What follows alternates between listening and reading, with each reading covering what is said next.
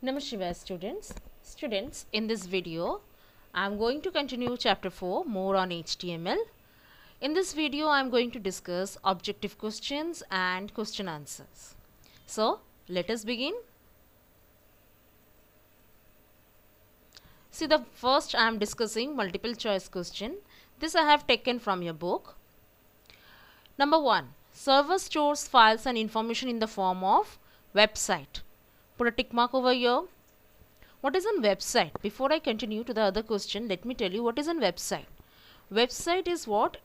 Website contains a file and information. Okay. Server stores all the file and information in the form of website. There is a computer server which stores a lot many informations and files in it but how they are displayed to the user if any user want to access any information or any file any audio any video whatever they want to access how they can access they can take it from the website okay? So the server what is the computer server is doing? They are storing computer server is storing all the files and information in the form of a website okay. And through this website we are getting the information. Next a dash is an html command that controls the structure and appearance of the page that is created.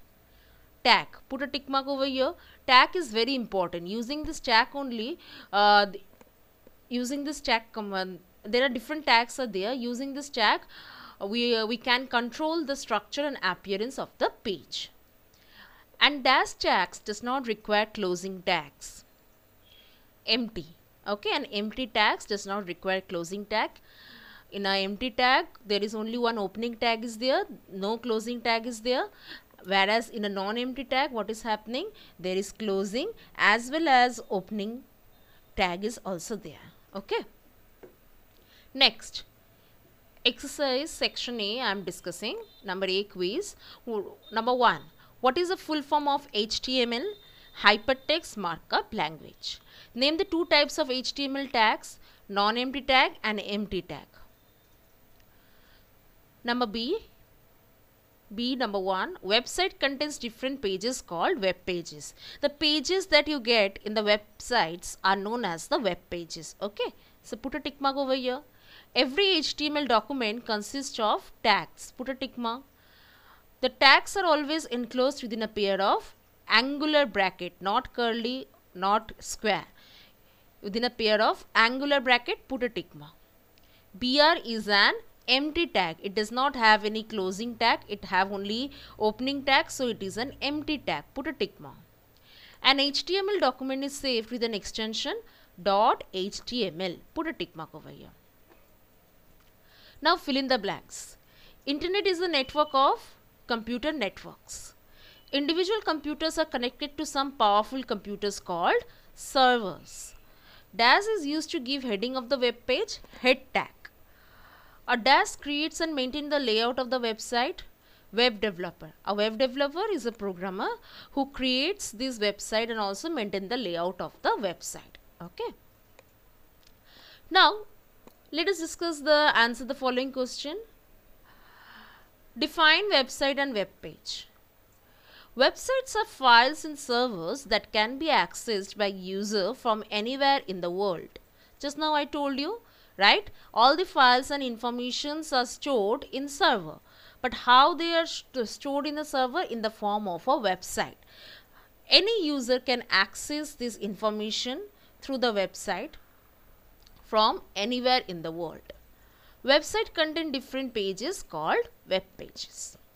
What are attributes? Some tags have special attributes which gives option to format the text contained. Okay, there are different attributes are there for different tags. So now how these attributes are written? Attributes are written within the angular brackets with its corresponding tag one after another with the space in between each of them. See over here I have given an example font tag. This is font tag. Okay. Over here you can see size and color. Size and color here size is given 5 and color is equal to red. That means font size is 5 and font color is red. But what is the size and color? Size and color is the attribute of which tag? That is a font tag. 5 and red is the value of this attribute. Number 3. Which are the reserved symbols in HTML? Greater than, less than, double straight quote and ampersand. Differentiate between empty and non-empty tags. Just now I have discussed what is an empty tag? An empty tag does not require a closing tag. Non-empty tag require an opening tag and closing tag. Example, see this two tag does not require a closing tag. They are just an opening tag and this two tags are known as empty tag. And whereas this one you can see this is a non-empty tag. Here the starting tag is there and here is the closing tag. In between these two tag we have to write the text.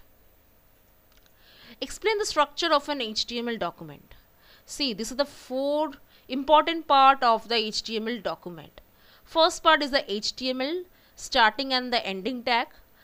What does this work what is the work of this HTML tag? It indicates the document has been written in HTML. If you don't give this HTML starting and ending tag, then you cannot write anything, any HTML document. When you are writing in the beginning this starting tag, HTML starting tag, it indicates that you are writing the documents in HTML. Okay. And this tag indicates the end of the HTML document. Then title tag.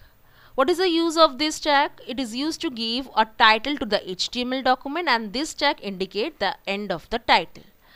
Head tag is used to give the heading of the web page. Okay, heading of the web page and ending head tag is used to end the heading.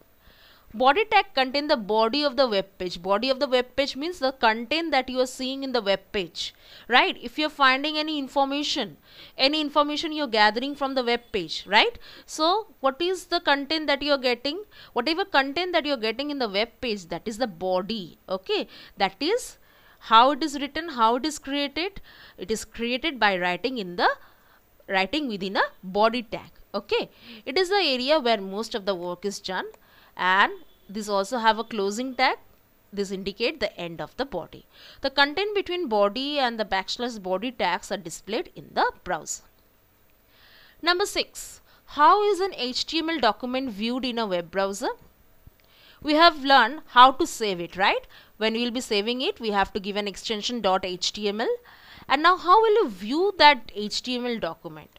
To view, you have to open any one of the browser either Internet Explorer or the Mozilla Firefox. Okay, any one of the web browser. So now, if you are opening the Internet Explorer, how you'll be uh, viewing the HTML document in the Internet Explorer? You have to click the File menu, Open option, then see File, Open, then this Open dialog box appear. Now step 2 is click on this Browse button to choose a file this will open up, this screen will open up. Select the location from here and choose the HTML file and then click on op open button. When you click on open button, this will appear. Click on the OK button. When you click on the open button, whatever HTML document you have written, it will appear as a web page in Internet Explorer. Okay. Next, what is nesting tags? When we use tags within some other tags, then it is called nesting of tag. That means using a tag in the another within the some other tags. Like over here you can see head tag. This is the starting and this is the ending. In between these two, in between this tag, I have used another tag, see title tag. Right? So I can see title tag is used in between the head tag. So and this is the content that is learning HTML this is the content that I have written. But I can see this tag title tag is used in the head tag. So this is called nesting of tag. When two tag is used together this is called a nesting. What is HTML HTML is a hypertext markup language that is used to create web page or document on World Wide Web what is used to compose HTML document or it can be asked name the software to compose HTML document. You have to give the name as text editor text editor like notepad okay? So when you are using the text editor like notepad then only you can compose the HTML document. Text editor here means the notepad that we have used okay? Notepad is a text editor. So text editor are used to compose HTML document. So student, this is the end of the video. With this video, I have completed the chapter 4. Please go through it and complete the question answer. In the next video, we are going to continue with more HTML commands. Okay. So this is the end of the video. Thank you. Namaskar.